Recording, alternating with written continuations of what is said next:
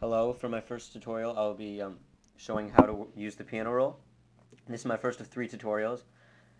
First being a very basic tutorial, then a more intermediate, then an advanced tutorial. So I'll start. Okay. As you can see, this area in the front is the piano roll. It is where you play your notes for your instruments or drums or anything. So uh, you use it by you just left click and it creates a sound or a note and then you place that note anywhere on the piano and yeah. So what I'm going to show you is the different tools you can use. I'll talk about the chop tool and then I'll go into other tools. So first the chop tool. You have your notes it's just like that. Then you go to tools. Then you press chop. And here as you can see it chopped your notes into more notes. You can adjust the way it chops it with the time wheel. So as you can see, it changes how many notes it's being chopped into. It's useful for when you want to speed up your pattern or slow it down. So.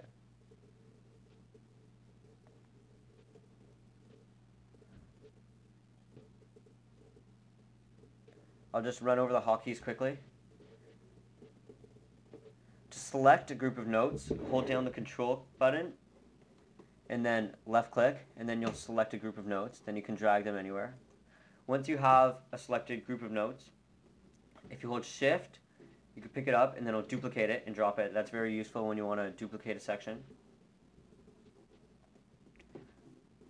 Another good hotkey is once you have them selected, you hold shift, but this time you drag and it fills your notes to a selected area. Normally, if you you can highlight one note and do the same thing, but if you were to highlight two notes and do it, it would just stretch them like this instead of, and then they would overlap as you can see. But if you hold shift, it will stretch the entire pattern out to the desired length. Uh, another tool I'll be showing is the riff machine.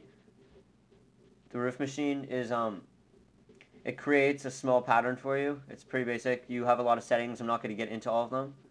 But uh, yeah, this is good if you don't really know where to start. And that is my first tutorial. Thank you.